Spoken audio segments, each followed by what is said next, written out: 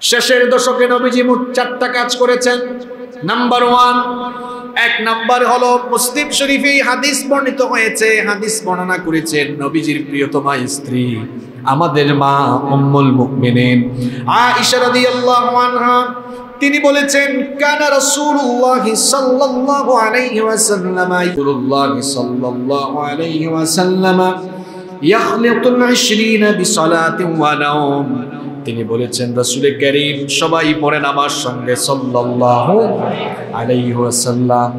রমজানের প্রথম 20 দিন, রাতের বেলা কিছু সময় ঘুমাতেন, আবার কিছু সময় নামাজ আদায় করতেন, ইবাদত বন্দে করতেন। কিন্তু ফাইদা কান আল যখন রমজানের শেষ দশক চলে আসতো শেষের দশটা দিন একটা মুহূর্ত বিছানায় পিঠ লাগাতেন না। সারাটা রাত দাঁড়ায়া দাঁড়ায়া ইবাদত করে করে রাত কাটিয়েছে। তাহলে দুই নাম্বার আমল আমরা জানলাম। শেষের দশ দিন, দশটা রাত নবীজি একটা মুহূর্ত বিছানায় পিঠ লাগাইতেন না।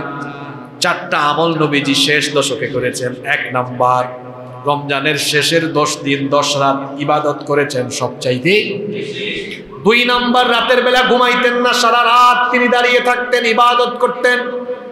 তিন নাম্বার হলো ও আই কজা আহলাহু শুধু নিজে নিজে ইবাদত করতেন না, শেষের দশ দিনে আল্লাহর রহমত বর্ষিত হয় বেশি। আল্লাহ তালা রহমতের বাড়িধারা বর্ষণ করেন। এই রহমতের বাড়িধারা থেকে যেন নিজের পরিবার বঞ্চিত না হয়। এই জন্য নিজের পরিবারের লোকদেরকে ঘুম থেকে জাগাইয়া দিতেন। তাদেরকে বলতেন, তোমরা শেষের দশটা রাত ঘুমায়ও না। জীবনে বহুত ঘুমিয়েছ, এই দশ রাত ঘুমায়ও না। কারণ এই সময়টা ঘুমানোর নয়, এই সময়টা ইবাদতের। তাহলে নবীজির তিন নাম্বার আমল আমরা পেলাম।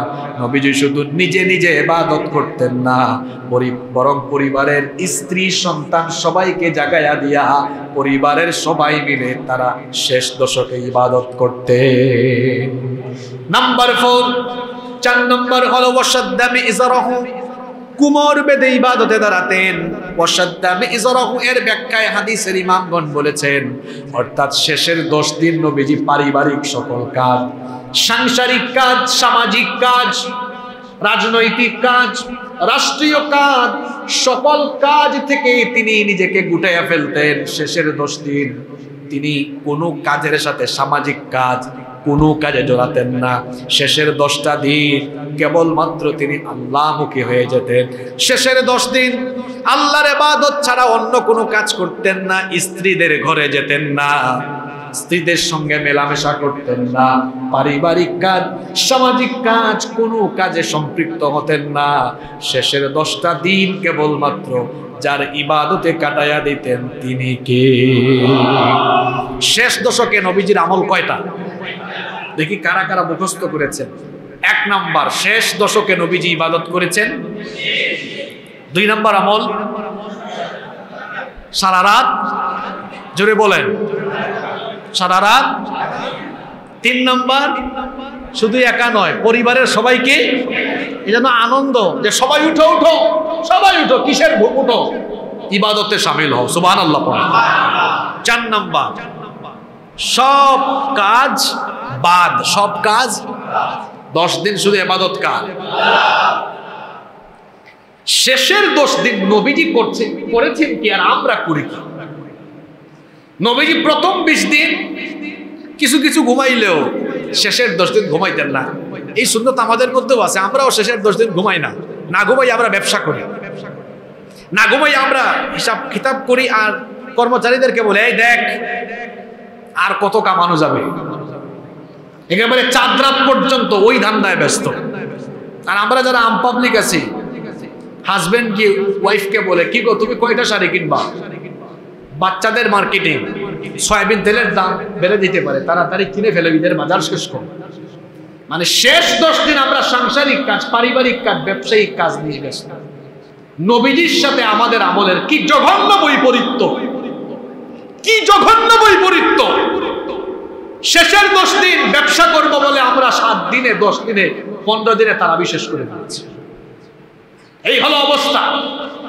আর শেষের দশ দিন, গিয়ে দেখেন মক্কা, মদিনায় ইতেকাফের জন্য, তাহাজ্জুদের জন্য মানুষ এখন থেকে প্রস্তুত। আল্লাহ আকবার। আর আপনি ব্যবসা করার জন্য প্রস্তুত। বঙ্গবাজারের ঘটনা থেকে রে ভাই, এখনও শিক্ষা নিলা না। আর কোন দিন যে শিক্ষা নিবা? শয়তান কি মাথায় পেশাব করল নাকি? আমার তো ওইটাও বুঝে আসে শেষের দশটা দিন নবীজি শুধু ইবাদত করেছেন। অসাধ্যামী ইজারাহুয়ের ব্যাখ্যায় কোন কোন মহাদ্দিস বলেছেন, স্ত্রীদের সাথে নবীজি মিলামেশাই করতেন না শেষ। আল্লাহু আকবার। কি সম্মান দিয়েছেন শেষের দশটা রাতকে? শেষের দশটা দিন নবীজি ঘুমাইতেন না। পরিবারকে নিয়ে সব দায়িত্ব, সব কাজ, ওই দশ দিন কোনো কাজ নাই, শুধু আবাদত হবে কার? তাহলে শেষের দশকে নবীজি যা করেছেন, আমরাও তা করতে পারব তো? প্রশ্ন হতে পারে যে শেষের দশ দিন নবীজি এত ইবাদত করেছেন কেন? এর কারণ হলো নবী করিম সাল্লাল্লাহু আলাইহি ওয়াসাল্লাম রমজানের শেষের দশকে এত ইবাদত বন্দেগী করেছেন। প্রথম বিশ দিনের চাইতে শেষ দশককে এত গুরুত্ব দিয়েছেন একটাই কারণ কারণ রমজানের সবচেয়ে বড় নেয়ামত লাইলাতুল কদর, যে রাতে কোরআন নাজিল হয়েছে। যেই কোরআন নাজিলের কারণে রমজানের ইজ্জত বেড়েছে, ওই কদরের রাতটা আছে রমজানের শেষ শেষ। ওই রাত যেন ছুটে না যায়, এজন্য নবীজি শেষ দশক এবাদতে কাটাতেন, কারণ ওই রাত বছরের শ্রেষ্ঠ, সারা জীবনের শ্রেষ্ঠ রাত এটা। জন্য নবীজি ওই রাতকে মিস করতেন না। এই রাত যেন ছুটে না যায়।